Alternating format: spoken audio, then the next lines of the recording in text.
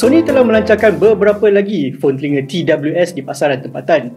Salah satu daripadanya bersama dengan kami hari ini ialah Sony WF-H800 Here in 3 uh, iaitu boleh dikatakan phone telinga TWS yang sedikit lebih murah berbanding dengan uh, WF-1000 SM3 tetapi hadir dengan beberapa ciri-ciri yang juga hadir pada phone telinga yang lebih mahal tersebut. Saiz dia lebih kurang sama dengan uh, WF-1000 XM3 tetapi saiz bateri phone telinga ini uh, sedikit lebih kecil daripada uh, WF-1000 XM3 uh, di mana WF-1000 XM3 ada bateri selama 24 jam jika anda mengecas dengan pengecasan ini.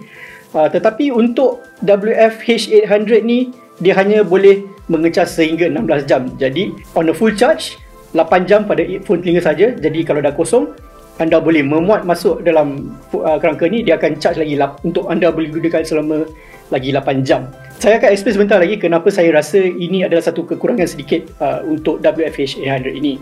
Yang bagusnya ialah pengecasan dia cukup pantas. Dalam masa 10 minit saja anda boleh dapat gunakan phone telinga ni selama sekitar dalam 1 jam ke 1 jam 10 minit 20 minit begitu. Uniknya uh, WFH 800 ni dia mempunyai warna yang pilihan warna yang banyak. Di sini saya ada warna hijau, dia ada juga warna hitam, biru, merah dan sebagainya. Tak silap saya ada dalam 5 ke 6 warna macam tu.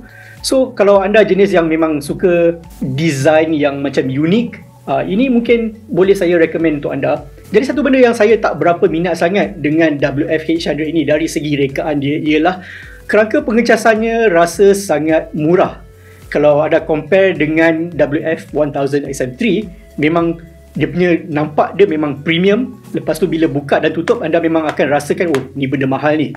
Tapi dengan WF-H800 ni saya tak rasa kualiti binaan dia lebih inferior lebih lebih rendah. Tetapi bila anda buka dan tutup kerangka pengecasan dia ni anda akan rasa macam apa sel macam saya tengah buka uh, kerangka pengecasan ni macam rasa macam sangat murah macam benda yang saya boleh beli pada harga 2 ke 300 ringgit saja macam tu. Bukan saya nak kata satu isu tapi bila anda beli dengan harga yang saya akan bagi tahu sebentar lagi, memang anda pun akan rasa pelik kenapa build quality, kenapa kualiti binaan dia macam ni. Okey, beralih pula kepada phone telinga dia. First of all, dia punya driver yang digunakan dalam WF-H800 ni, ia menggunakan driver yang sama pada WF-1000 XM3.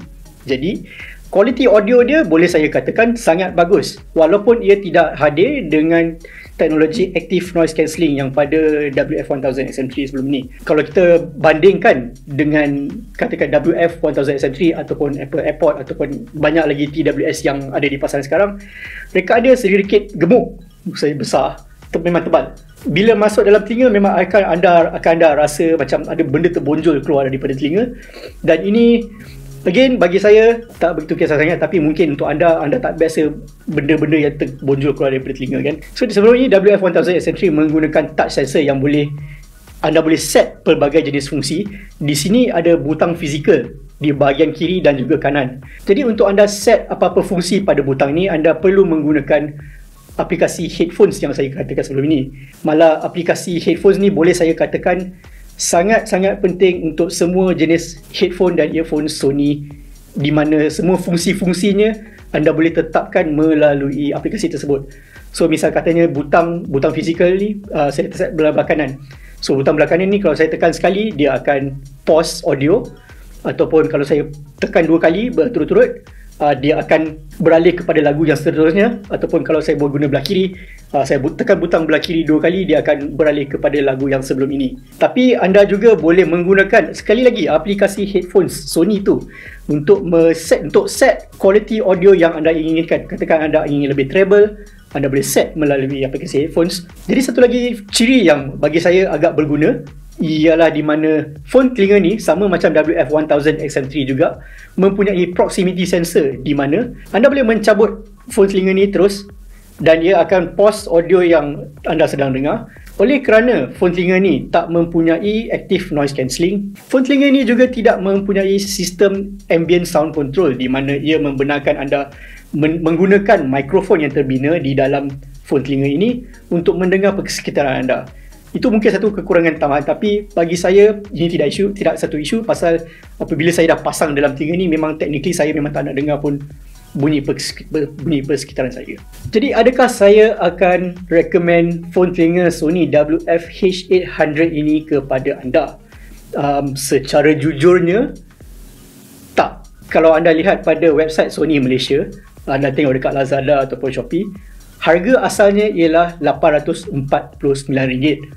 Di mana jika anda tengok dekat website WF1000XM3 pula, harga earphone tu yang ada active noise cancelling dengan jumlah bateri yang lebih lama hanyalah RM100 lebih mahal berbanding dengan phone telinga WF H800 ni. Recommendation saya ialah anda hanya perlu tunggu saja. Macam setiap bulan saya rasa WF1000 XM3 tu memang akan on discount sebanyak 100 ke 200 ringgit dan ia bagi saya memang lebih berbaloi berbanding dengan WF H800 ini. Tapi jika anda jenis yang inginkan macam sesuatu yang berbeza, yang sangat lebih yang lebih colourful, saya rasa honestly saya rasa uh, warna phone telinga hijau ni agak buruk sebenarnya. Tapi mungkin yang colour biru dengan colour merah lebih cantik. Saya tak tahu, tak pernah tengok lagi. But yes, uh, susah untuk saya recommend phone telinga ini specifically pada tanda harga yang Sony Malaysia sendiri dah tetapkan kerana Sony sendiri ada phone telinga yang lebih bagus pada harga yang sedikit saja lebih mahal tetapi mempunyai lebih banyak lagi ciri-ciri yang mungkin anda inginkan khususnya bateri yang lebih lama. Sekian saja ulasan saya mengenai phone telinga TWS Sony WF-H800 ini.